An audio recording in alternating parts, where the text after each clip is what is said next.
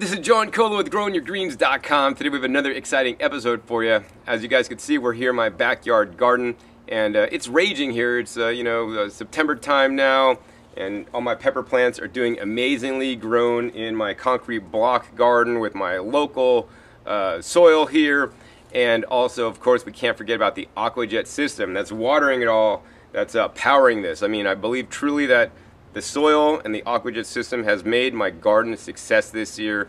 Some of my pepper plants are six feet tall and I've never grown peppers this tall. And if you're saying, oh John, your peppers are tall and lanky, man, they are tall and they are branching out. I mean, here's one just branching out. It's insane. I mean, these things are like miniature trees.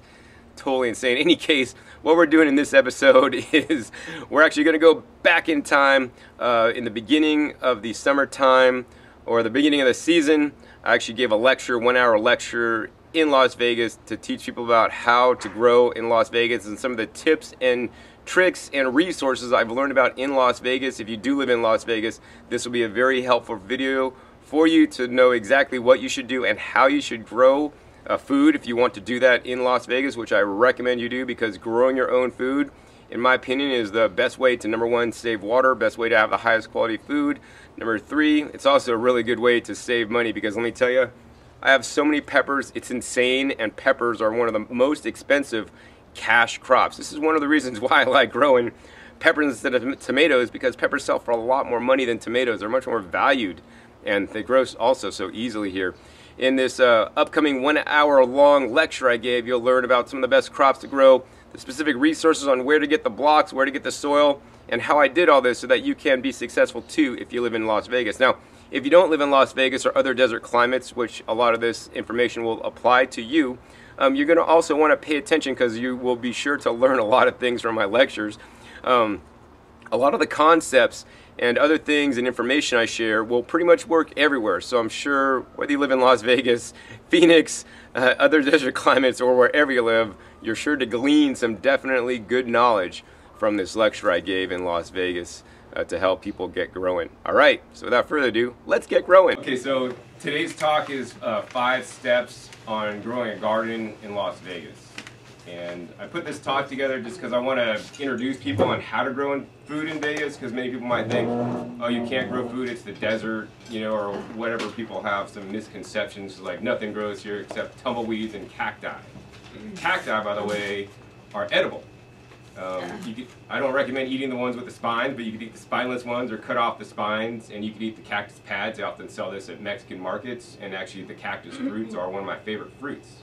So they're actually quite, actually they're quite healing, and those guys are really easy to grow without pretty much any irrigation, because I mean they just grow in the desert.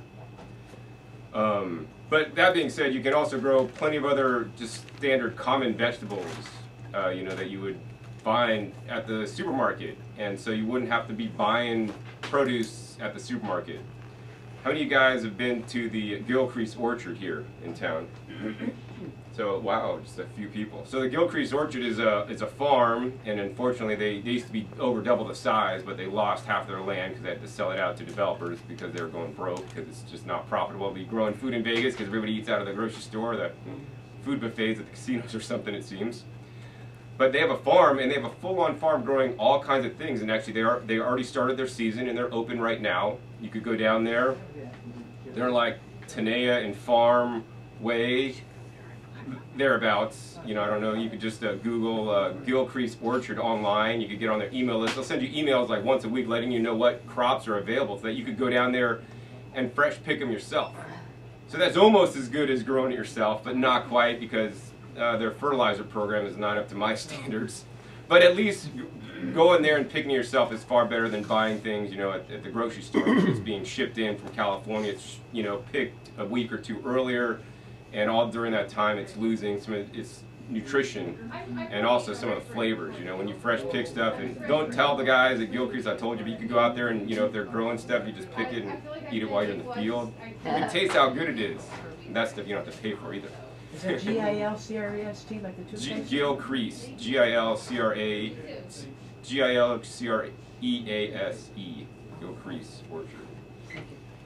And, uh, but if you go out there, it's also a site to be seen because you can see what really can grow in the desert because they are actually doing it and they've been doing it for so much longer than I've been even growing food in Vegas or just in general actually. That farm has been there forever and they have fruit trees and just regular crops. So if you want to know what you could grow, I you know go out there and see what they're growing. Like, oh, well, they're doing it, I could do it too, right? And that's what I like to really try to motivate people that you guys could really garden. It's really not that hard. You need to just set up your systems properly. Like to ride a bicycle. You know, the first time you try to ride a bicycle, you might have fell off or maybe had training wheels. And once you got on a bike, you figured out how to do it, and then you're up and running. And I think it's really sad that gardening or growing your own food is not a skill that's taught in schools. I mean, we're taught English, reading, writing, arithmetic, and science, and all this stuff. We're not taught, taught how to grow food, and we all need to eat. You know, so that's why I teach people how to grow their own food because it's important to me because I turn my health around not only by dietary changes but also by growing my own food and growing the highest quality food. Also, you know, one of the reasons, that's the main reason why I grow my food is for the health benefits, but also I've learned that over time, because I'm not going to fool you guys, you know, it's not, it can get it, it's an investment to make to buy all the stuff to you know start growing a garden. You know, you're gonna have to outlay some cash for my garden in California. I spent nearly two thousand dollars just to get it set up. But now that it's set up, that's a one-time investment. Imagine if you like had a million dollars you put in the bank and you're just living off the interest from here on out, right? Gardening is kind of like that in my opinion. You know, you you're gonna make an outlay, but then from then on, there's very little, if much, you're gonna have to buy to keep it maintained once you got good soil, and then it's just going to just keep paying you back with the highest quality, best tasting food that money cannot buy because the agriculture system is focused on profits, not nutrition and not, you know, and, and poundage. They're, that's what they're focused on. They're focused on more poundage equals more profit and more profits that we could be rich. And they're not focused on like the quality, the taste, nutrition, or anything like that. So yeah, so I gotta say about that. And I just actually spent like $300 on concrete blocks to, you know, put in the other half of my backyard here in Vegas because I've been growing in half of the backyard for several years now and now I'm converting the other half of the backyard which I will have videos on to show you guys exactly the step-by-step -step process that I'm going through to do this. For those of you guys that want to do something very similar because I've already worked through all the the trials and tribulations and I'll just show what works and then you guys just have to duplicate it you know just if you see somebody walk, riding a bike you just oh they, they're riding a bike so I could do it too and that's how it is. You just got to learn the certain procedures, and that's what I'm going to share with you guys today. So the first thing is you have to determine, you know, where you're going to have a garden. Say you live in an apartment or a condo or a townhouse. You know, you may have limited space. You know, especially now with the new housing developments, if you own a newer home, the houses seem to get like two-story and have not a lot of square footage like in the yard to play or to grow a garden or anything. And even if you have a little bit of space, you can still grow a lot of food in a little bit of space. You could grow things vertically, up trellises. They have vertical garden systems where you actually plant plants on the walls as long as you get good sun. I've shown some of these on my gardening show and hopefully one of these days I'll have a few of the different systems to use and to review as well. Um, you could get something like I have here. This is a little container garden. So say you have a little patio and you don't even have any land space or backyard that's currently rocks to do anything with. You could get a little container garden. This is actually called the Growham's container, and it's very similar to a product called the Earth Box, um, which are expensive. And but the other one that's more commonly available is available at Lowe's home improvement stores. There's one actually across the way, and it's actually called the um, City Pickers. And the City Pickers is uh, actually larger than this. It's probably like out to here, so it's actually a large. It's like a little, about two and a half by two and a half um, container garden and the cool thing about that is that they actually have a little, uh, this is all unset up because this is brand new, but this little screen goes in on the bottom and then you have a tube to fill the water up and this one actually has a little dipstick tube to see that there's water inside here because you know, much like us, we need water. We're mostly water. We're 70 to 75% water, and we need to eat hopefully water-rich foods or drink enough fluids, or we're going to dehydrate. Well, the plants, especially here in Vegas with our arid climate, they dry out really fast. And one of these guys in the summertime, I might have to easily water it once a day, if not like maybe once in the morning. It's going to dry out during the day, and then I'm going to have to water it at night. so, uh, so this way it's self-watering, so at least there's water in there, so it's going to last a longer period of time. For example, in the winter time here in Vegas, I could like literally water like once every four days as long as this is full it's gonna, I won't have to water for another four days. So this is a good solution if you live in an apartment or condo and don't have a lot of space to grow stuff, or if you just want to get your feet wet and you know uh, try out to start growing th some things. Like this uh, little container garden or once again, the, the city uh, pickers would be the one that's uh, like this. It's now available. They're about $30 to have just a little garden. Actually, those ones are nice because they're actually on wheels, so you can kind of wheel them around, roll them inside if it's too cold outside, you know, during the winter, or even grow inside next to a nice sunny window. I do have a video on YouTube uh, showing me setting up one of these city pickers um, online, and actually I gave it to a friend who lives down uh, on Las Vegas Boulevard who lives in a condo, she grew it for uh, quite a period of time inside her condo because it's so windy outside, um, just next to the glass, and all the plants that I planted in there did great until she went on vacation.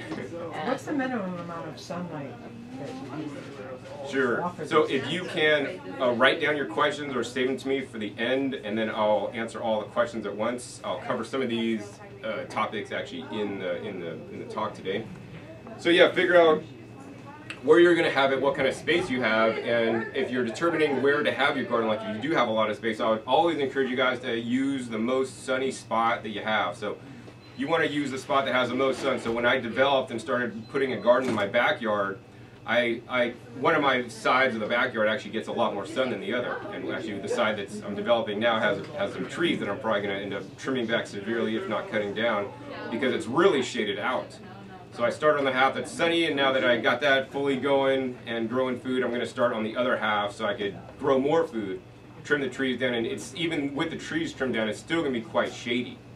And that's all right because, you know, no matter where you look, there's always things growing. I mean, there could be a crack between two buildings in New York City and there's dandelions and weeds growing out of it, you know? So don't think, oh, I don't have any sun, it gets shaded all day, it gets indirect sunlight, I can't grow anything bull honky. You know, you can grow things, you may just not be able to grow the things that you would like to grow. So in a nice shady spot, you might not be able to, you're probably not going to be able to grow things like tomatoes and fruiting crops. So fruiting crops is anything that makes a fruit. You know, so like uh, peppers. peppers, cucumbers, eggplants, okra, all these kind of things, zucchinis, anything, pumpkin, squash, anything like that you know, probably not going to do so well. You should have at least some direct sun for those. Although you, you could also probably do some of those, depending on the situation, in indirect sunlight. If it's like cherry tomatoes, for example, would grow better than a full large-sized beefsteak tomato in the shade. That being said, if you have a shady spot, use it to your advantage, especially here in Las Vegas.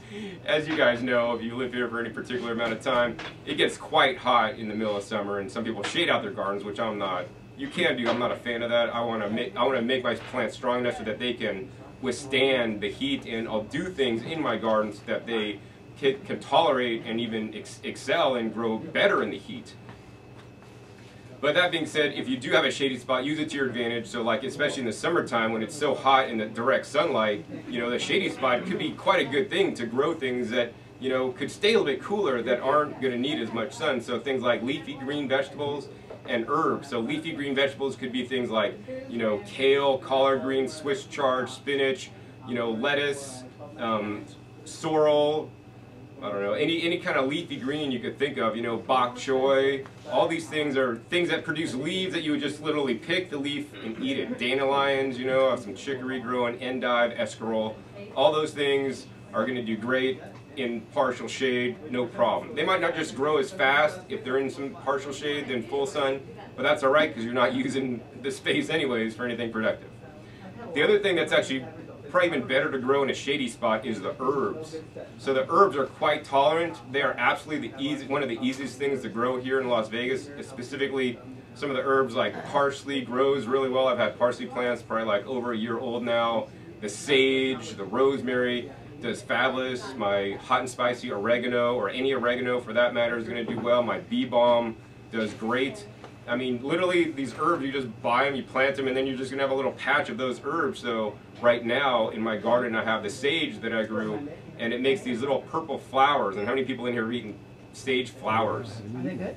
Oh, they're quite delicious actually. so like I like to pluck the flower and instead of taking the little, there's like little green parts around it, you could pluck the flower out and then you kind of get just the purple part and then at the end of that is a little white part. And then in that little white part there's like a little bit of nectar.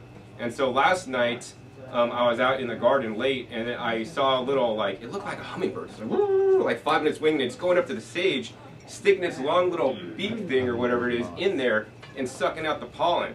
And because I had eaten that, I pulled one off, and you just eat the little tip. That's the sweetest part. Then you eat the rest of the purple stuff, and the purple is good for antioxidants and whatnot. But I was like, wow, those are sweet, and that's what it's after. It's just eating the nectar of the sage. So I'm also providing wildlife some food, you know. And come to find out, it wasn't actually a hummingbird. It's actually called a hummingbird moth.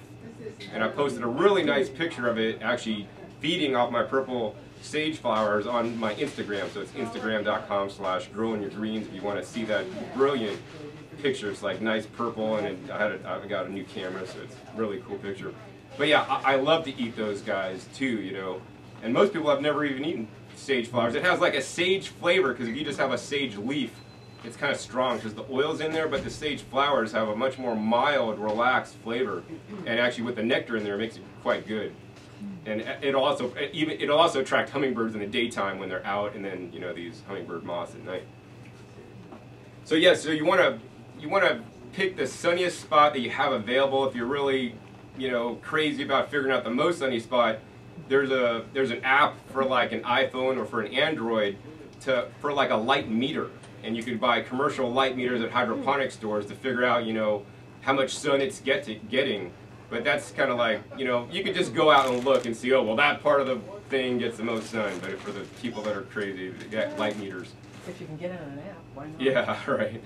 So, um, so pick the most sunny spot would be my best suggestion, and then after that, you know, don't feel bad if you don't have a sunny spot. You know, just the, the most sunny spot, and then a spot that's gonna, you know, make the most sense for you. and then once you have the spot, then you're gonna have to figure out um, how you're gonna grow a garden. So whether you want to put some containers, like I explained, the city pickers, um, you know, some kind of container garden in that sunny spot, whether you want to build a simple raised bed, and these are the first raised bed kits that I uh, purchased to build my garden um, because they were actually inexpensive. And this is actually just called a raised uh, garden kit here. And this is, as you guys can see in the picture, it's just a four foot circular bed. And it's very simple. I mean, all that's in here is just a piece of plastic that you unfurl into a four foot bed. There's two little like plastic screws that kind of lock in there that kind of hold it together. And um, you just fill it up with some good soil, some soil amendments, and then you plant in it. I mean, it's really that easy. And these guys, um, I have two available today. If you want them, they're like $20. I think you could probably find these online for, I don't know, maybe 30 bucks or something. But I, I bought enough of these to cover both my sides of my backyard, but then I decided to only use this on one half. Now these have lasted fairly well for like two years, but the plastic I've learned does get brittle. As long as you don't lean on it, it's not going to break. but it served me well, and you know I've definitely, especially for buying them for so cheap, it, I've made my money back on them. So where did you buy them? So these these were these are no longer available in Las Vegas that I'm aware of, but you could buy them on Amazon.com or I have, you know, a few, I have two to, available today. If you wanted to buy some, I have a few more at home that I won't, will not be using. Um, but besides this kit, you know, they also have different wooden kits. So, you know, Lowe's and Home Depot sell raised bed garden kits if you're not handy with construction that are really simple and easy to put together. They're actually square, and I kind of prefer a square design. That's what I came from, and then I got these just because they're inexpensive and I could like throw them up and really easy to assemble. But I prefer the square design because you could maximize the use of the space a little bit better and it's easier to actually run irrigation in the square boxes than the circular ones as I've learned, although I've been able to do that successfully. So I mean, every different style has a pro and con. You might have a space where you like circles more than squares. I tend to be more of a square type guy. But, um, but these have worked well for me, and I have uh, 19 of these actually in my backyard currently, and they've been working great. And so then they got the wooden ones, and that's another option. use wood, whether you buy a raised bed kit or you just get like some kind of wood at the store and then just screw it together yourself. I don't see a lot of, you know, things here in Vegas made out of wood, like in, from coming from California, like they have a lot of wooden fences and wood stuff. And I kind of wonder why that is, why they don't use it in landscaping more. And I could only, I could only guess that there's a big problem with the wood splitting, it drying out too much, and just and giving you problems in the long run. So I, I did not want to go with uh, wooden beds because it, once again, this is an investment. I'm not making a short-term investment to like just buy some wood that's going to rot out in a couple years or dry or crack or split. I figured I wanted to do something better for the other side of my yard. So what I cho chose to go with is concrete blocks. So like at many home improvement stores, they got those concrete blocks that we've all seen that probably your fence is made out of at home. And, but they're hollow on the inside, so they have like holes. And many people may use those and just stack them up and put dirt in there and plant things in. I personally think they're great for probably fences and all this kind of stuff, but I don't like how that looks for like a raised bed garden. So what many people do do, uh, do is take the blocks and then they have a holes and they put a cap on the top. So now you're at a dollar for the block and then a dollar for the cap, and that's like two dollars per 16 inch space that you got. And I was like, I'm a pretty cost conscientious person. Plus, I don't want to waste space because also those blocks are fairly wide. I guess you, these are the standard size ones, and you could get ones that are this wide. So what I found actually was that they have uh, concrete blocks that are four inches wide, 16 inches uh, long, and eight inches tall. And so I got these blocks, and I just bought them. And if you want to get some blocks, and I figured it out that if you want to make a four foot by four foot garden out of blocks, you need a three, three of these, three of these, three of these, and three of these. So that's what three, uh, six, like 12, 12 blocks total, right? and each block is a uh, like a dollar sixty nine for the the standard concrete gray color. But if you want to get one that looks nicer, that's colored, they're only a dollar seventy nine. And this is you got to go to a special place. It's called Sind R Block on 6085 South Decatur Boulevard. And so I actually just went there on Friday, and they were pretty nice. Hmm. The, the guy was a little bit weird at first, but then once I started talking to him, I'd actually walk the whole yard to see all the different blocks because they don't have a good showroom. And if you don't, most of the people that go in there are contractors and they do all that work and they know exactly what they need. And so if you're somebody that doesn't know what they need, then I don't know, you're just not going to be in too good a shape there, in my opinion. But so I walked the whole yard and made a video showing what I'm getting.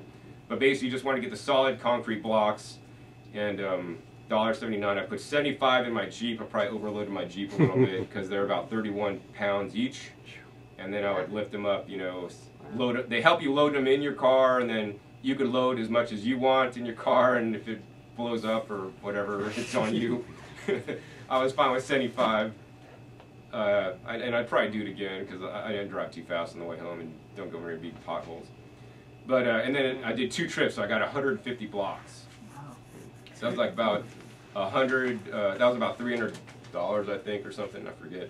But uh, anyway, so they're eight inches tall, and you, if you're just, uh, you could just make a one stack high. So if you just had one stack high, you'd have a four foot bed, and it'd be eight inches tall, which is a good height. That'd be the minimum height I'd recommend. I decided to actually double my cost and expense and go twice as tall, twice as tall, because now I'm just going to have more soil in there, and especially with the soil drying out here in Vegas, I'm going to have more soil that has a higher capacity for holding the water which also means it's more space for the roots to grow. Like, you know, everybody these days always seems to want a bigger house so they have more space to play in and store stuff.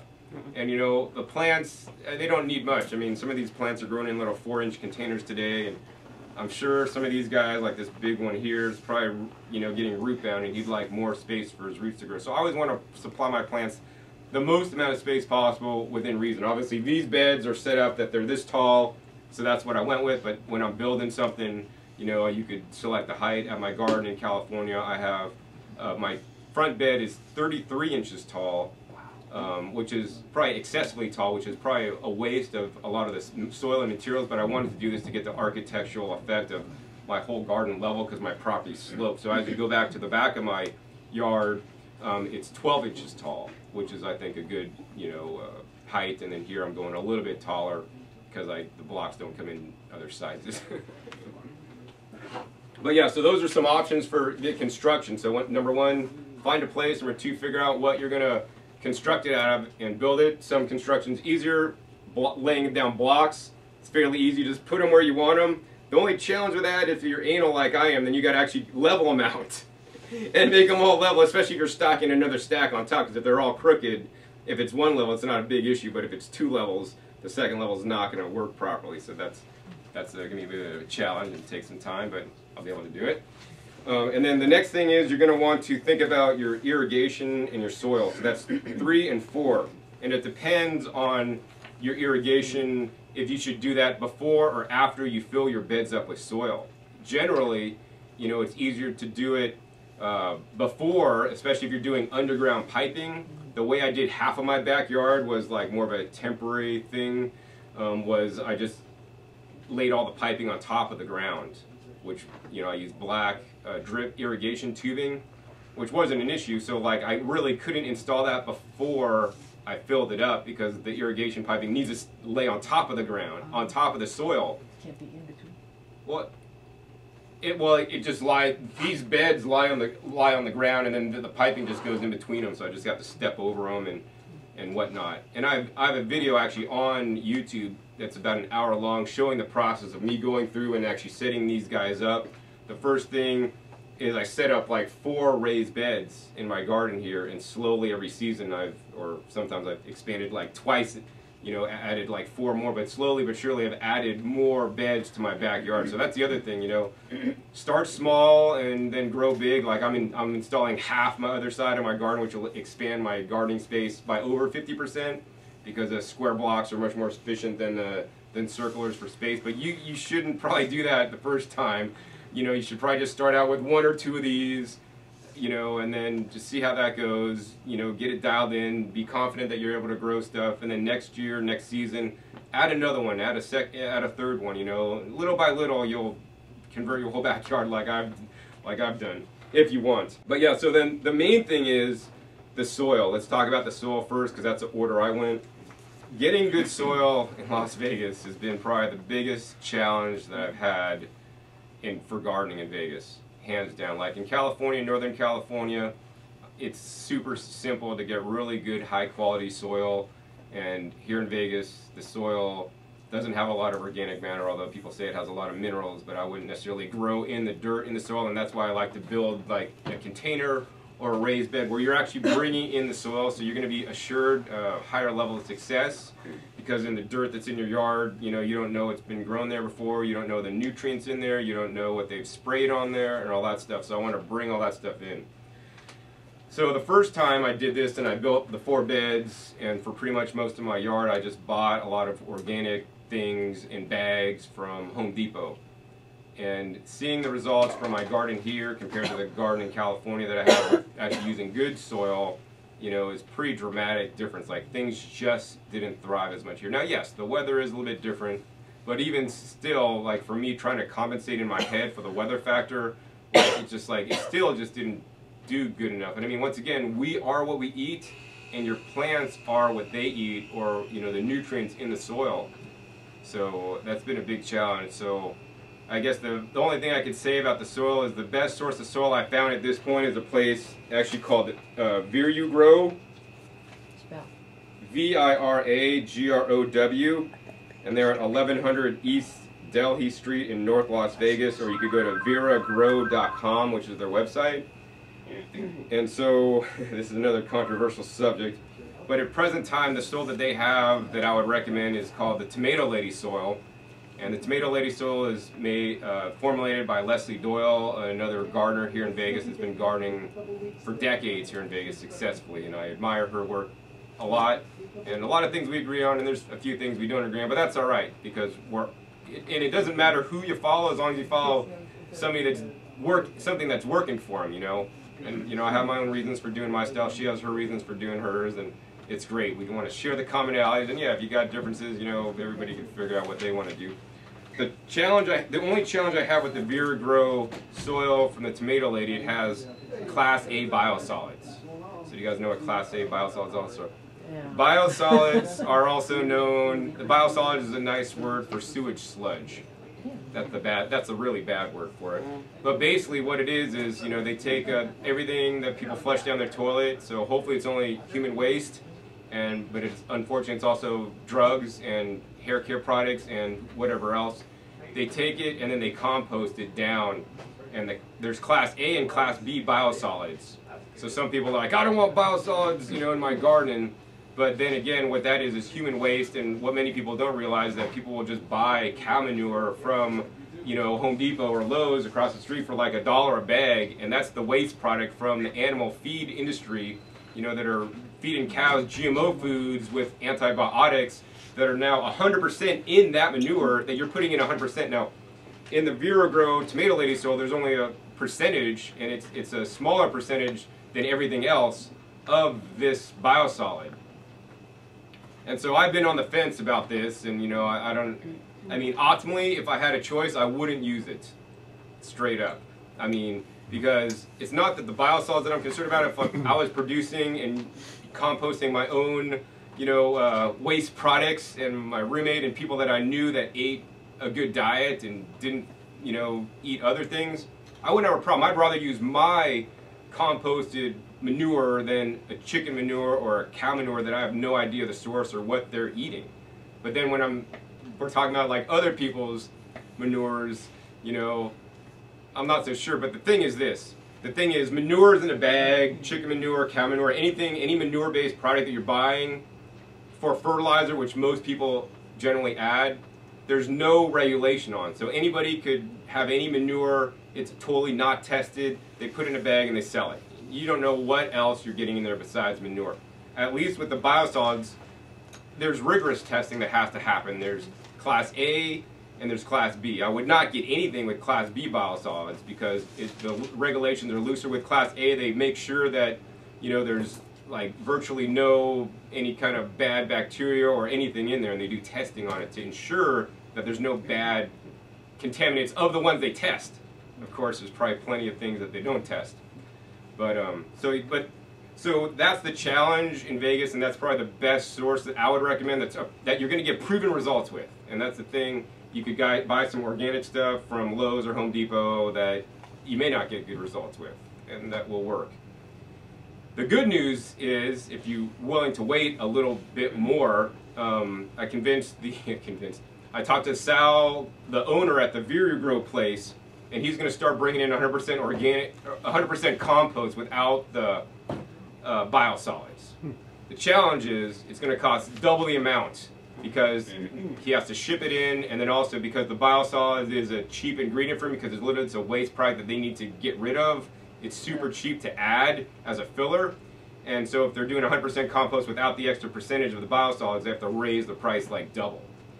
So it depends on you know how much it's worth to you to get a biosolid free product or not. And hopefully this year I will actually be using some of the Tomato Lady soil in some of my beds and hopefully the regular compost without the biosolids and then I'll get to see the differences in growth.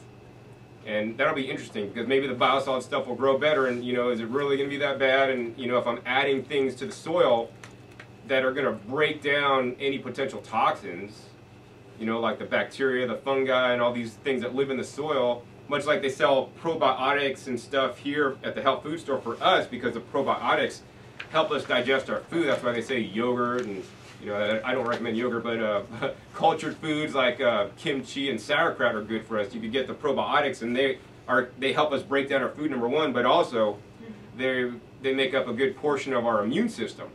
And likewise, in the soil, if you have healthy soil you're basically fostering the growth of these beneficial microbes in there. And that's that's a reason why you do not want your soil to dry out because that really will hinder their growth.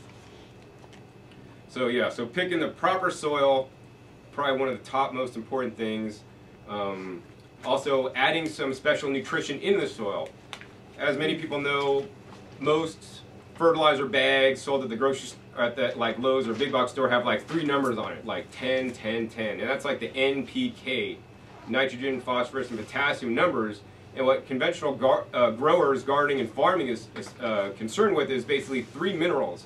Adding three minerals back because they've learned through studies and all this stuff long time ago that if you put these three uh, nutrients back in, the plants are going to grow and they're going to grow fairly big. Uh, and so then you could sell them and make money. The problem is that, you know, putting three minerals in the soil is like us living on a diet of only cheeseburgers, fries, and Coke. Three things. And as we know, that's not so healthy. You know, in my opinion, our diet should be widely varied. We should eat a variety of things, you know, all the time. You know, like for a while, like I have a whole garden right now. And every day, since I have an abundance of organic pineapples that I picked up, um, I'm juicing one organic pineapple with like a pound of leafy greens every day. Now I have a bunch of leafy greens in my garden, so um, I've been juicing like one pound of leafy greens from my garden and one pineapple every day for the last five days. And every day I've done a different juice. So for example, the first day I did like a pound of spinach and then pineapple, and that actually tasted quite good. I liked the taste. It was like, wow, this is really good. I can't even believe I'm eating a pound of spinach and getting the nutrition out of it. The next day, I was like, okay, well that tastes good. Well, let's do dandelion greens. Mm-hmm. So I picked a pound of dandelion greens, put that in my juice, and guess what? That did not taste good. but I'm like, it's good for me. It's going to detoxify my liver. so I drank it, and I was like, uh, it didn't. Yeah, most people wouldn't like it. It kind of reminded me of tasting like medicine or something. But dandelions are bitter green. They're good for you. And I'm glad I got to include them in my diet. The next day, I juiced uh, the tree collards. So I juiced collard greens, so like these guys. And that was actually, that was better than the dandelion because the dandelion was really not good. But it wasn't quite as good as the spinach for taste. But, you know, every different green has different nutrition in it. And then the next day, I actually did the Swiss chard. And the Swiss chard, I probably have to say, I probably liked just a little bit more than the spinach because the stalks of the Swiss chard, when they get large, they get quite salty. So now we have the sweetness from the pineapple with the saltiness of the Swiss chard stalks, plus also the chlorophyll and the greens, which tasted really good. And then today I actually had uh, people over, so I, also, I made the same thing, the Swiss chard with the pineapple, and actually added celery for them. And they and they don't even eat healthy or anything in general. And they loved it. They're like, wow, if I could just eat like this every day, I would totally eat healthier. I mean, it really tastes good. But yeah, so uh, so I eat, eat a varied diet, and the plants also want to eat, you know, have a varied diet. So besides just adding the three nutrients, we want to add a lot of different things. So what I like to add is called rock dust. It adds 70 minerals to the soil instead of just the three. I also like to use a sea mineral products that can add like up to 90 minerals. So the sea mineral products are usually in a, a solution that you water in, and then the it's more fast acting because it's water soluble, and then the rock dust is more kind of like in the ground, mixed in with your soil mixture to um, give plants the nutrients they need. And so uh, to get the, the best place in town to get the rock dust, it's known as the azomite, which is the brand that's available locally. There are many different kinds the azomite, and another thing I add is actually called the soil humates, which is another way to get minerals in. Humates, H-U-M-A-T-E-S. And both these items are available fairly inexpensively. The azomite, I think, is around $16 a bag for 44 pounds. The humates are right around the same price as well. And that's at the IFA store at 3176 West Martin Avenue in Las Vegas. I'll repeat that again. IFA store, 3176 West Martin Avenue in Las Vegas.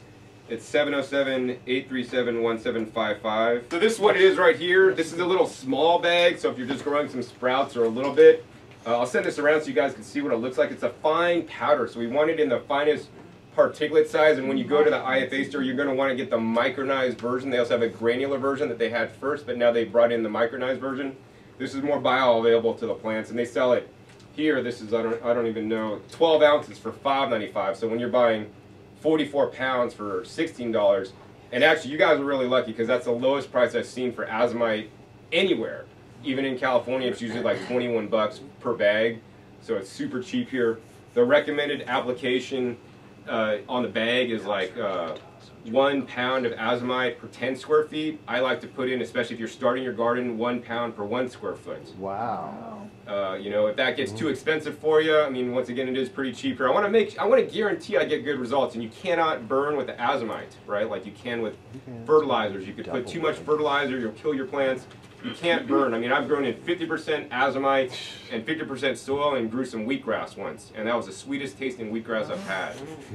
Um, that probably was an overkill, but you know, minimum if you can't do one pound for one square foot, do like you know, uh, I don't know, one two pounds. No, I don't know, one a half a pound per square foot, which would be half that amount. And I'll send this around so you guys can see this. Now, the thing you want to remember with the azomite is you're going to want to wear a respirator or dust mask. You don't want to breathe that stuff in. It's not toxic per se, but any fine particulate that you're breathing in is, is not good for us. The other way I like to get the nutrients in, now this is usually best when you add it in when you're mixing up your soil before you start planting. I also will also add in the azomite after every season. So if you have a raised bed that's you know this tall and you fill it up to the top, because I always encourage people to fill up their raised beds to the top to have the most amount of soil, so the plants have the most amount of root growth. I think it's silly when people have a raised bed this tall and they fill it up this much, um, because they could have uh, you know more soil in there for the plant roots, and which would be more nutrition. Although I have seen some reasons for doing that. Maybe they want to shade the plant, give it a little protection from the wind and whatnot. But then I would just kind of build some kind of hoop over it personally, then waste space in the raised bed. So uh, after every season, my the, the raised bed is this tall, the soil comp compacts down a little bit. So within that little compacted area, I'll mix in another soil batch in like a wheelbarrow with some more rock dust, azomite, worm castings, and other things, and then just spray that on, layer that on top to raise up the level a little bit that I don't have to dig in the soil because I'm in favor of the no-till gardening method where you're not disturbing the soil, uh, you know, and you're disturbing the soil as little as possible because uh, soil disturbances um, can compact the soil and uh, not encourage microbial growth because if you're compacting the soil, you're taking out the air spaces in between there. And not only do the uh, plants need, not only do the plants need the nutrients, but they also need actually the air in there. And that's why you should never you know, flood out your plants and leave them like totally waterlogged because they actually need some air, you know, and that also the, the microbial web of life also in there needs some air, so it's best not to step on your beds.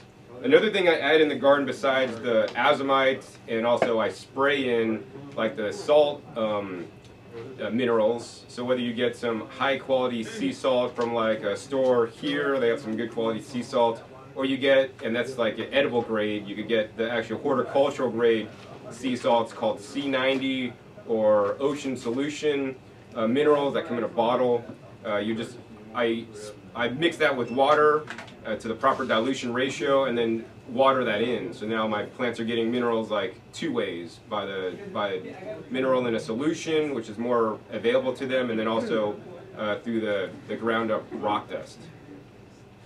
If I had to choose one, I'd do the one that you could get. I probably prefer overall the rock dust it's a bit more safe because if you do not dilute the salt, the salt uh, crystals properly, you can definitely burn and kill your plants.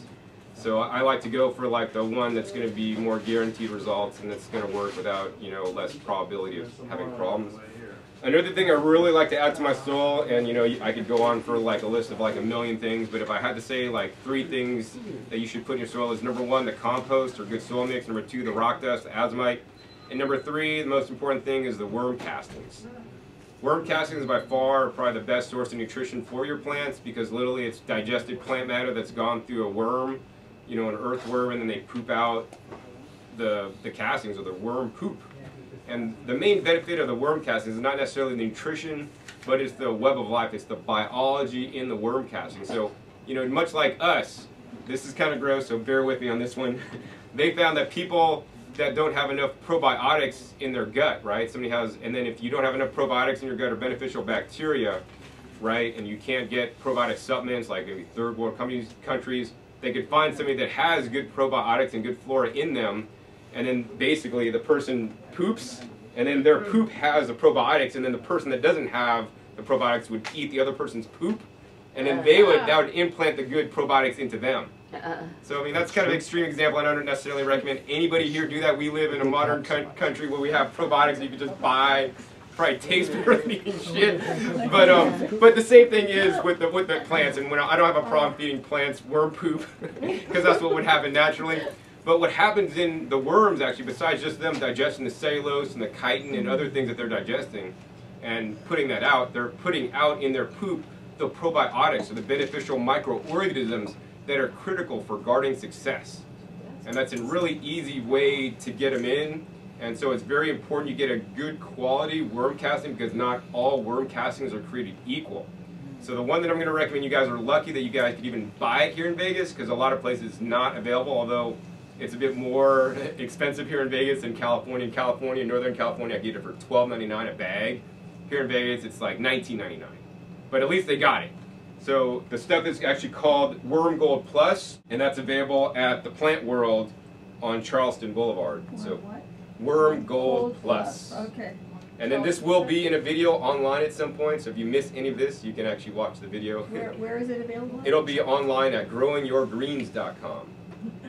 so it's called Worm Gold Plus. Now the reason why I specifically like Worm Gold Plus, because I saw the, the owner of the company that makes it, and by trade he was actually went to school as a mechanical engineer. So he really has an engineering mind, and instead of just like, oh yeah, we feed worms whatever we could feed them, which is usually a waste stock from, you know, it could be it could be manure. They feed worms, and the worms eat the manure, and then they poop out the castings, and then they sell all kinds of worm castings. And you don't, you got to ask what the worms are fed, right? Because that's really important. And they could, like, my first worm castings I ever bought were just made with cow manure.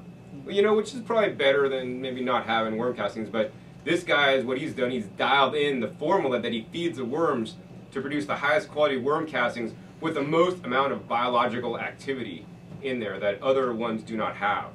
So that's why it's good to add to your garden as much as you could afford uh, in your soil mix. And then also, besides that, using the worm castings to make what's called a compost tea. I'm not going to get into that in this, this talk because that's just advanced stuff, but just know that you should also add the worm castings into your raised bed garden. And I'm not going to say a specified amount, but just as much as you could afford. Whether you got one raised bed, you could put a whole bag mixed in there. I think that's really good. Or if you can't do that much and you got two raised beds and you split one bag between two raised beds, you know, just but just get it in there for sure, and even save some of that back to do some compost tea with later on. That if you want to learn how to do that, check my videos because this is just it's too much for this introductory class today. The next part that's very important, that's critical for your success in Las Vegas, and I would say that if you do not want to take the time to set up an irrigation system in Vegas, and you don't want to take the time to get good soil, you should just just keep buying your food. I mean, and go to the farmer's market, go to Gilcrease, support local farmers. Because the irrigation system, if you don't have an irrigation system, it will make or break you here in the weather during the summertime, and I'll have to give props where props are due. Like thanks to Leslie Doyle, like you know, I've learned that in the summertime, it's very important to have multiple watering schedules. In the summertime, on some of our large tomato plants that literally suck water, she'll water nine times a day. I mean, yeah, mm-hmm. right? And she'll water, you know, just short increments, a little bit of time. And, and now I'll, I'll explain why this happens. Like in California, I'd never have to do that Never. I'd water like once a day in the summertime. It just doesn't get that hot. It's not that dry. But here in the arid climate, I mean, you like I just yesterday I like I was watering some plants, oversprayed on the concrete, you know, and it's not even really hot hot out right now. And like within an hour, all the water that was on the concrete was gone, gone, gone, poof. So I mean, this is how fast the soil can dry out here, and that's and then so so why it's important to water multiple times a day. Now, if you're watching here in YouTube land, you probably don't have to do this. This is specific for dry and desert environments like Vegas. Um, the reason why we have to do that is because, you know, when we're hot, right, we drink some water, cools us down, or we go into an air-conditioned building. When a dog is hot, it pants, and it cools it down. Now, how a plant cools itself down is through, instead of like we perspire to let water go, plants do what's called transpire instead of perspire, right? So what transpire means is when you're watering your plants multiple times, especially in the hot summer, because we're coming into that, and even in the winter, well, in the winter time, I just had like a one cycle a day. But now that we're in the spring, I have to, I've had to up that into two cycles because it just dries out too fast. And you're going to get to know this once again, learn by doing. You're going to like learn, oh man, my plants are not looking happy. I'm better give me some more water. But basically how the plants cool themselves down is when you're taking water out of your tap, out of the well, out of city water that hopefully you're filtering, um, and water your plants with, you water the ground, the, the water out of the pipe is cold, cold or cool. It's not the temperature of 114 in the summertime, right? It's cooler. It could get a little bit warmer, but it's still cooler than the ambient temperature outside. Now when you water the plants, and the soil is also cool, you know, maybe on the top layer of the soil is uh, warm, but then as you go down deeper, it's cooler. So now you're watering into the root zone, which now gives cool water to the plants. The plants, what they do is, it, you know, oh, I'm hot. I'm going to suck up the cool water at the colder temperature. It sucks up the water through all its veins and the plant cells and whatnot. that cools off the plant, and then actually through the leaves, it evaporates the moisture off, kind of like a dog panting. So this is what keeps the plants cool in the summertime through transpiration. Another benefit that I've learned also through Leslie Doyle is, because you know I learned, I try to take the best knowledge from the best people that are getting results and incorporate that into what I'm doing. So I must thank her for that. If you're watching this, Leslie, thank you. Um, and what this also does is as the plants are transpiring, besides pulling up water, they're pulling up nutrients. So you actually and they're getting full sun, so they're getting the light they need. They're pulling up the water. They, get, they got the water, and they're pulling up nutrients that they can actually grow better and faster. So many people might have the opinion that, oh, I'm going to shade my plants in the summer because they're getting too much sun. The problem is maybe they're not watering enough, you know, because the plants aren't able to transpire much. So yeah, if you shade them, they're not going to transpire as much, but that also means they're not going to pull as much nutrients up. They're not going to be able to produce as much fruit or leaves for you if you want. So that's why I choose to you know water multiple cycles a day. I haven't gotten up to nine. I think I was doing like four cycles a day in the summertime. You 10 know, minutes, 15 minutes. See, that's another question, you know. So, how long should you water for? That's like, that is something that you're just gonna have to learn on because it depend and figure out for yourself. Depends on how deep your bed is. You know, how much water you're flowing out of your drip emitters. You know, what kind of drip emitters you got. What the weather's like. You know, what you're growing. Like tomatoes tend to be more thirsty than you know other crops like parsley would. They're more resistant, and it, so it just depends. And I can only say that uh, experimentation is your friend, and a moisture meter is also your friend. So you could pick up in, a pretty inexpensive moisture meter at like a Home Depot or a hydroponic store that you stick in the soil and it has a little gauge like your gas gauge in your car that'll show the moisture level in your soil. If it's like moist, and it's like it has a little like chart, and you can see, oh well, it's not that moist. I mean, and then you can stick your finger in, or Leslie Doyle also likes to recommend using bamboo uh, skewers for like barbecuing. You know, I kind of like the meter because it kind of gives me a visual representation. Because like when you pull out a skewer, to one person might be moist, another person might not be. So I'm kind of more pragmatic like that. But yeah, no matter what, or yeah, just use your finger and like, oh, the soil is moist, or you know, inspect and look at your plants. I mean, if you had a son or daughter, which I don't have yet, you could know like, oh, my kid's nose is runny, he's sick, man. And if you go out, if I go out to my garden and I know, I, I probably know my plants better than I know if I had a kid. But I'm like, oh man, that plant, it's like, it's like, it's looking droopy. It's not so happy. Like something's going on. Oh, the leaves are yellow.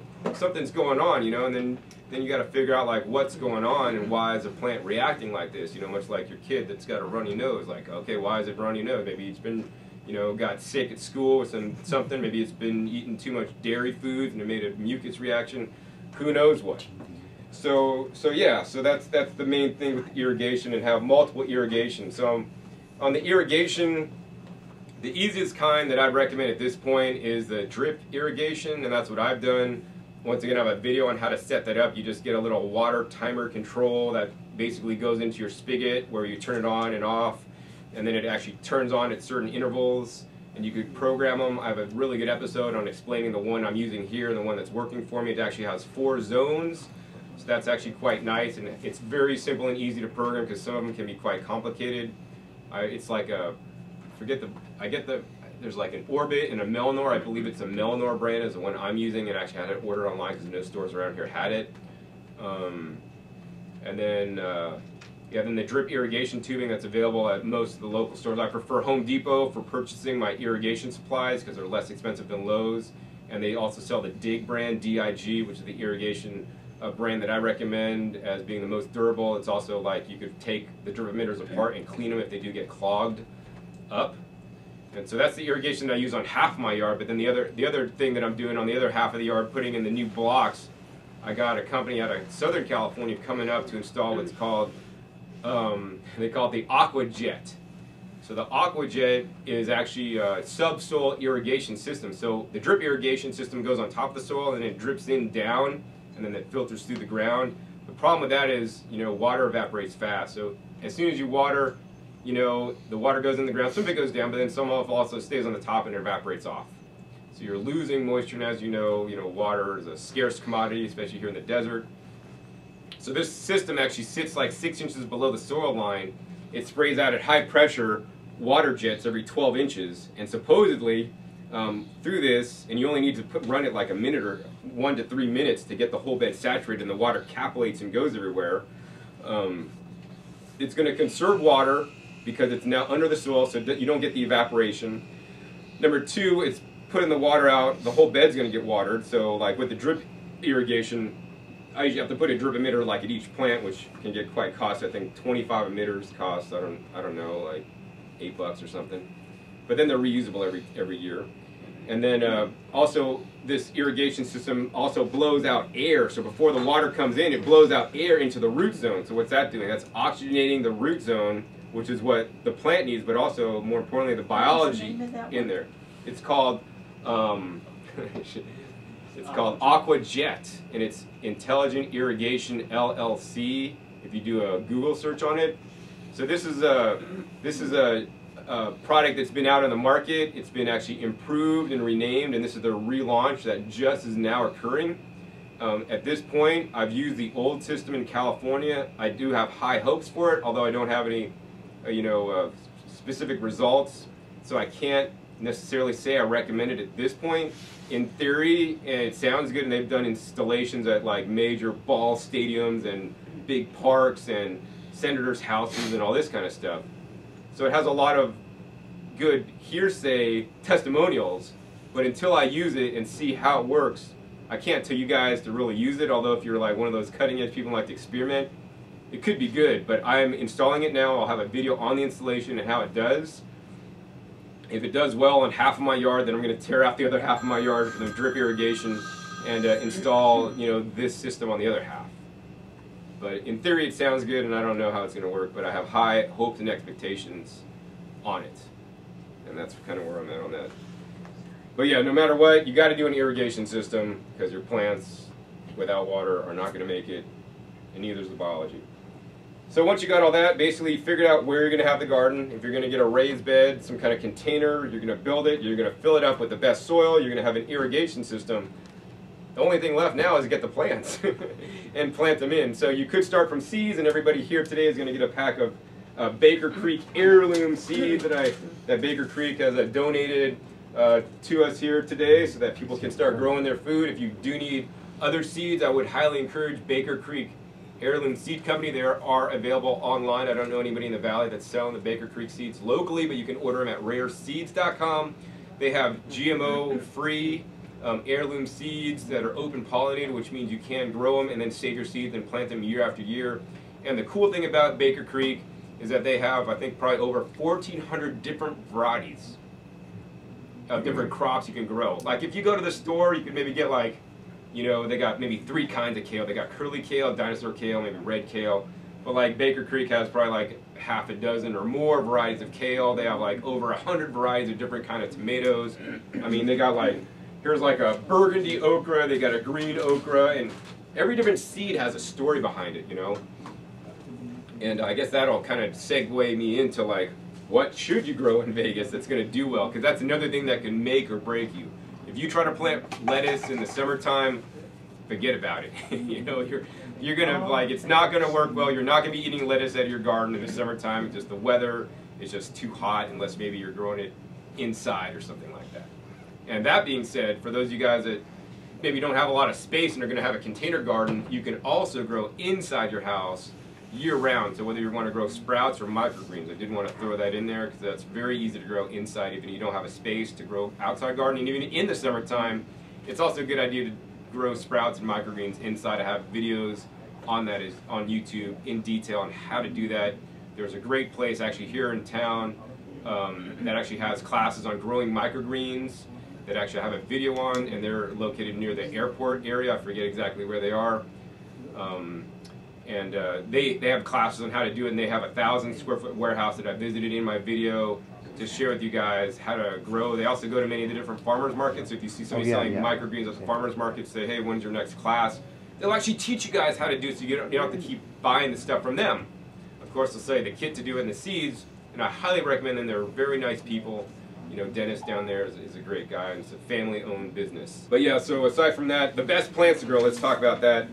So there's plants that you're going to want to grow in the summertime, there's plants you're going to want to grow in the wintertime, and then there's plants that'll grow pretty much year-round. I kind of like the plants that kind of grow year-round because they're just a lot easier. You plant them once, and then you got them for like a whole year, and you have to keep replanting stuff, right? So probably the ones on the top of my list are, for standard vegetables, are Swiss chard. Swiss chard is available probably most everywhere as plant starts. I brought some with me today. Um, they're $2 each if you want to pick up some of these guys. I'll do three for five if you want three of them to start them out. But these guys these grow. Are year all are these all These are all all year long crops that I'm going over first. And I mean Swiss chard handles 114 degree weather. They handle the 29 degree weather we had this winter time. You know they're just unfazed, and they're very easy to grow. Like some of my garden right now have some problems with aphids and bugs. Like these ones are like I won't say they're almost immune to bugs. They get hmm. very little problems with the bugs, and they're just like a no-brainer. Like I have one whole bed dedicated to Swiss chard right now, actually actually a bed and a half actually because I planted Swiss chard one year, and if you let it go through its life cycle, it makes this beautiful stalk. It makes all these little flowers, and then the seeds drop. And I let the seeds drop into one of my beds, which I probably should have collected them. And then the next year, I had all these little babies come up in the springtime, and actually all the babies are what you're seeing here because I dug them all out, put them in little pots because now I just have a bed. So that's my kind of garden where you grow something, you let it go to seed, it drops the seeds. Next year they sprout up and grow on their own. So literally, if I did nothing more with that bed where those are growing, and I just let them grow every year, and I have always Swiss chard that that I don't have to do anything for because they're going to grow in there and they're going to grow big. They're going to drop the seeds. The seeds are going to drop. Then they're going to grow next year. Then they keep coming back year after year.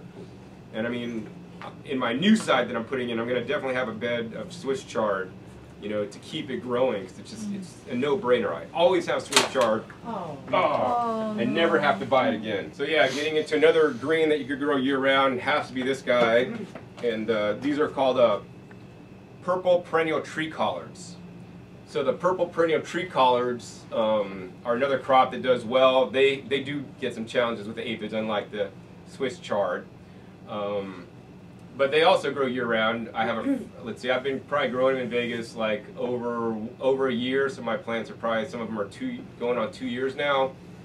And um, in Vegas, like in California, I haven't really had them go to flower and seed, but in Vegas with the extreme climates, they tend to go to flower and seed.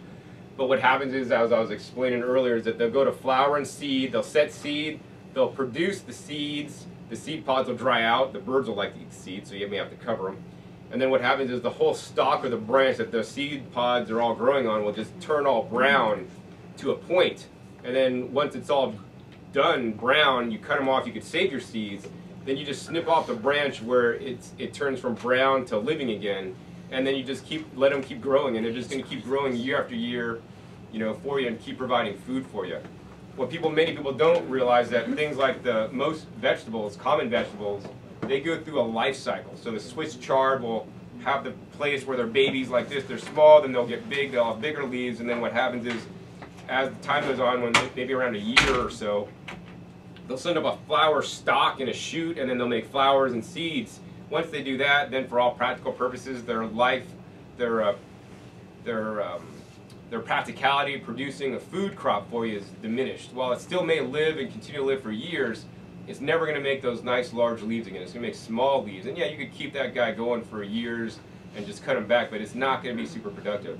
Whereas, and that happens with all crops, whether it's kale, collard greens, lettuce happens to happen, goes to flower and seed fairly quickly. Cilantro goes even quicker than lettuce.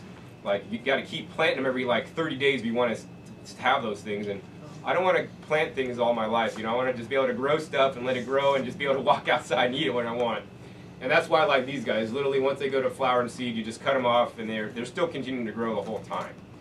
So this is the purple variety. I have learned that the green variety that I don't actually have any today uh, is more tolerant of the weather. This past winter time, you know, I had a problem with the, it was cold, number one, number two, my irrigation system had some issues. So it wasn't getting water and it was cold, which is really not good. So I lost a lot of my older uh, purple tree collards, although some were still alive. But my green ones, like virtually all of them lasted. The problem with the green ones is that they, they don't taste as good as the purple ones. you gotta you gotta pick whether you want ones that taste better or ones that are maybe more maybe in the olden days were known as a cattle fodder because that's what they feed the cattle. But they're perfectly fine for us to eat too. They're just a bit stronger tasting. Now the problem with the tree collards also is that in the in the summertime, while they can withstand 114 degree days, they get a little bit stronger tasting. So if you imagine like some dinosaur kale now, and maybe times that by 1.5, that's how strong these get in the summertime. So needless to say, these are not my favorite summer vegetable to eat, but in the wintertime, that's when I love to eat them because they get quite sweet. The plant makes like sugars to protect it from freezing actually. So they get quite good. And right now, they're quite acceptable, you know, because it hasn't heated up quite that much yet. And so I like them a lot. Another thing that's going to grow really well year round, actually, that I have plants that are over a year old now, grown in actually one of these Groms containers, in shade actually, are beets. You know, so you'd never really know that. But besides just the beets that we think of, you can eat the beets, the roots. The beet greens are related to Swiss chard and spinach, and you can also eat the beet greens as well, and they're quite good. Uh, when eating greens, I like to always pick the little young baby leaves. They're more tender, tasty, not strong tasting. You know, when you have a garden, you have the ability to harvest leaves at any stage you want. You don't have to wait, oh, I buy Swiss chard at the store, they're always this big.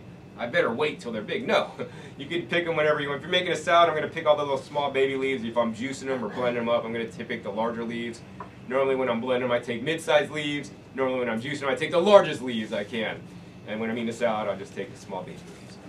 So yeah, um, beets do really well. Another thing that does pretty well uh, year-round, I've grown uh, Egyptian walking onions, uh, and they grow year-round quite well. So the walking onions, you could use them like onions. They don't really bulb up, they're more of a green onion, as well as my onion chives, garlic chives, and Chinese chives. So these kind of onion plants do quite well um, year-round as a perennial plant. I also do grow onions and garlic, you know, which last probably like eight months um, here. They harvest before the middle of the heat, you know, uh, in here, so I wouldn't call that a year-round crop. But th those are also crops that do quite well that are really pest, bug, and disease resistant, the garlic and the onions. Although it's past the point you want to plant, well, you could probably still plant some onions at this point. And then another thing that does really well for me that I love a lot that I eat as a salad green, not an herb like it is, is parsley. The curly parsley and the flat leaf parsley. The curly parsley I kind of like a little bit better than the flat leaf. But that's another crop that I've had growing like over a year with no problem. And I at different times had like a whole bed of parsley growing. And yeah, some of the plants didn't make it, but I still have a lot of plants still making a lot of parsley. And this is the time of year they love and they can handle it even in the middle of the summer and they handle the winter fine. Perennial? Well, they, they will go to flower and seed, but they don't flower and seed as fast as, say, cilantro would. So you will have to replant those. But these are ones that, you know, aside from the tree collards, you're going to have to replant these maybe once a year or so. But they're going to live, you know, a pretty long time. Some of the herbs, you know, like the onion chives and the garlic chives, like they just keep growing for me. And even the, in the winter when we had the 28 degrees and I had my watering irrigation issues, they died back to the ground, but then they came back from the roots. Hmm. Yeah, so even if you're not perfect and something happens, like your plants still can make it. I mean, plants are strong. And the thing I want to let you guys know is that, you know, plants know what to do. It's only when we get involved and like try to give them too much water and try to overlove them or try to give them too much fertilizer and all this kind of stuff can there be problems. But I mean, the seed is, you put it in the ground, you water it, and it knows how to germinate, it knows how to grow. We just need to get out of the way in most cases and just set up proper systems that you'll have success. So let's see. Oh, so those are some of the best plants to grow year-round. Now let's go in, since we're going into the summer season, I'm going to focus on some summer crops that do quite well. Everybody always likes to grow tomatoes, and I'm sad to say that most varieties of tomatoes are not going to grow well in Vegas in the summertime. It's just too darn hot. That being said, there are certain varieties that will do better than others. The tomato lady has her Hawaiian tropic variety that she swears in. I grew it last year. Didn't have the best of luck with that variety personally, although she grows mounds and mounds of tomatoes every year.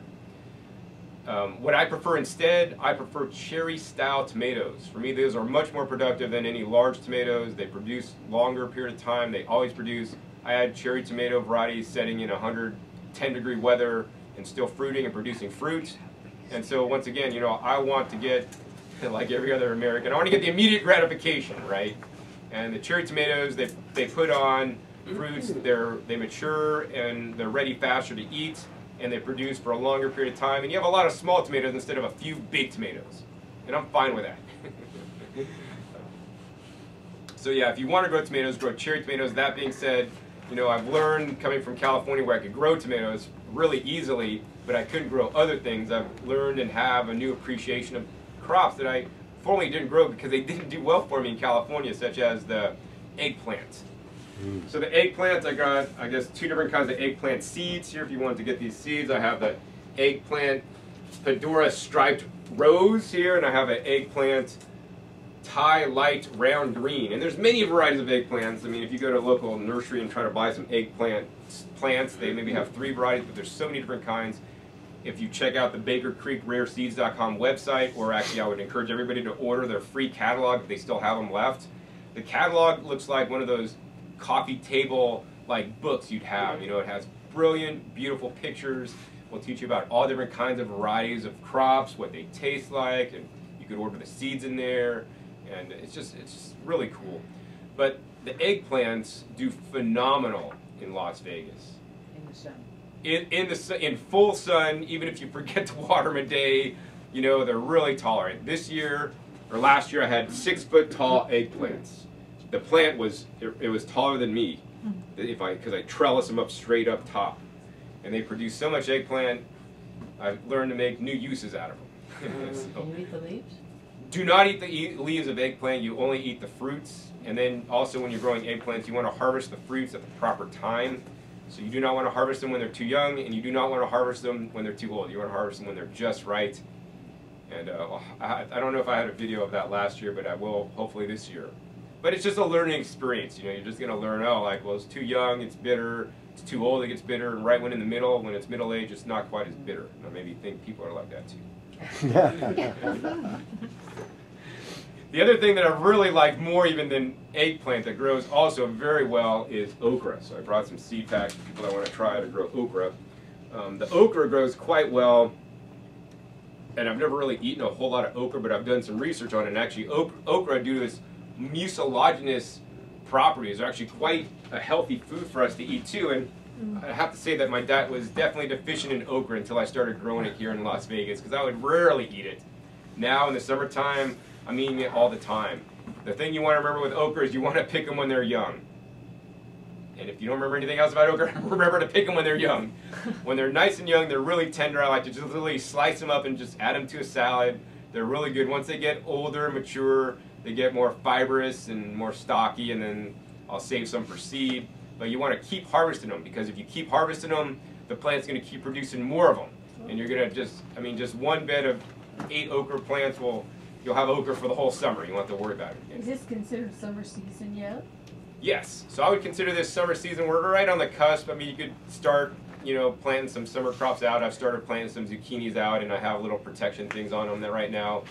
Optimally, you'd want to wait. Well, we're about at April 1st anyway, so it depends. Like Leslie Doyle will wait till like, you know, May to plant her stuff out and leave it in the greenhouse. But, you know, I'm cool with if I have them planted and they're kind of have some covers on them to keep them a little bit warmer. The problem is not the days, but the nights get a bit cooler for some of the plants ultimately. And much like children, you know, are like plants. So like if your children are like abused when they're kid when they're kids, they kind of like hopefully get out it at some point, but most of them don't, unfortunately. And much they're much like plants. Like if the plants have a stresses when they're when they're babies, then they will not grow to their ultimate potential and ultimate you know fruitfulness either and produce well for you. So like if you transplant them too much, if they're they're a baby and they run out of water and they wilt and you have to plant them, they've been stressed down. They're just not going to be the same and produce. That being said, you know all my plants are not 100% perfect all the time and do the best you can. But you know, uh, but yeah, the colder weather at nights um, can stress some plants out, which will mean they won't be as productive in the long run. Is that a major factor? No, we're probably splitting hairs at this point, but I want you guys to be aware of this. And it might be good to, you know, wait a little bit longer to plant your um, summer crops out just to be safe. Because if we do get a still freeze, which I, in my opinion is probably rare, I'm not a gambling man. I'm not a gambling man, but I'd gamble that we're probably not going to get another freezing night here. Um, so yeah. Another plant that does really well in the summer for leafy greens, because I'm really about eating leafy greens and vegetables besides some of these ones that I went over. One that actually tastes good, that's really good in the summer, is called Malabar spinach. Uh, and but see, the Malabar spinach is not related to standard spinach. Although they call it spinach, it's not related to the family of plants that the spinach family is in. It doesn't have the same properties. M-A-L-B-A-R? M A L, yeah, B A R, yeah, I think it's M A L B A R spinach. And they grow quite well here. It's unfortunate you can't find plants there, so you'll have to get seeds from somewhere and then plant them. And actually, they grow kind of like as a vine. I have a video with at Leslie Doyle's house where she has a, just a big clump of the Malabar spinach, and it's quite delicious. It'll make these little um, purple little like fruit things on them later in the season that'll actually just pop, and then it'll be a nice purple pigment like a blueberry. So we all know blueberries are good for us for that purple color. Well, I would believe that the Malabar spinach uh, pods are. So I pop the purple, and then I spit out the seeds, and then save the seeds so I can plant next year. And then uh, let's see another crop that did well. Oh, the purslane is another excellent leafy green to grow in the summer season. Once again, thanks to Leslie Doyle, I saw her growing purslane at her place, and it was just a big, huge bush. And I'm like, what do you do with a purslane, Leslie? Oh, I feed it to my chickens. I mean, I think we should be eating the purslane. I mean, if you go to any Mexican market, they sell purslane, you know, and Mexicans know about it and eat it, but, you know, Americans don't. But it's another thing that's going to go fabulous. In Vegas, they have standard weedy varieties of purslane, which actually you may have actually growing in your garden. In my garden, I never planted purslane, but some started coming up and out of the ground, and then I uprooted it and actually planted a raised bed so it'd have a nicer time. I let it go to seed and drop all its seed everywhere, so maybe it'll come back this year. But they also have, uh, you know, vegetable varieties of purslane, for lack of a better word, or cultivars that actually grow more upright, have larger leaves, so they're more kind of a vegetable-ish than just the standard weedy type, but they're all edible. Let's see, so yeah, those are some of the best summer crops that I can think of off the top of my head. Um, the peppers tend to do better overall than the tomatoes, but still they're not quite as fruitful as my California garden. If you do so, if you do choose to grow peppers, I would also recommend growing the smaller varieties of peppers, like the smaller varieties of the tomatoes because I, I, I, find that they tend to just uh, you know grow more instead of having like one big pepper on one plant or a couple you'll have you know multiple peppers and let's see my favorite one I think right now it's called a Carmen sweet pepper and they sell the plant starts at um, at the Home Depot and Lowe's and Walmart it's by Bonnie Plants that one performed well for me last year probably my best performing and actually best tasting one so once again that was a Carmen sweet pepper and so I think that brings me to my end of my talk. Give you basically the five steps. Number one, determine where to have your garden. Number two, figure out how you want to grow a garden, whether it's raised bed or container. Number three, get good soil, very important. Number four, install an irrigation system. Number five, plant plants, and it really is that easy. And let nature do the rest of the work. So I hope you guys enjoyed that episode learning how to grow food in Las Vegas. After watching this video, you now know how, and if you don't live in Las Vegas, I'm sure you learned quite a few things that's gonna help you out no matter where you live. If you like this format and liked my lecture that I gave about growing in Las Vegas, please give me a thumbs up to let me know that I should upload more of these lectures. I give lectures, you know, my goal is to give one, one lecture a month uh, to locals, wherever I'm at at the time, to help spread the knowledge of gardening and get people more growing because truly I believe homegrown food is the best food in the world. So in any case, uh, once again, my name is John Kohler with growingyourgreens.com. We'll see you next time. And remember, until then, keep on growing. All right, this is John Kohler with growingyourgreens.com. Today we have another exciting episode for you coming at you from St. Paul, Minnesota. We're here at the Como Zoo and Marjorie McNeely Conservatory.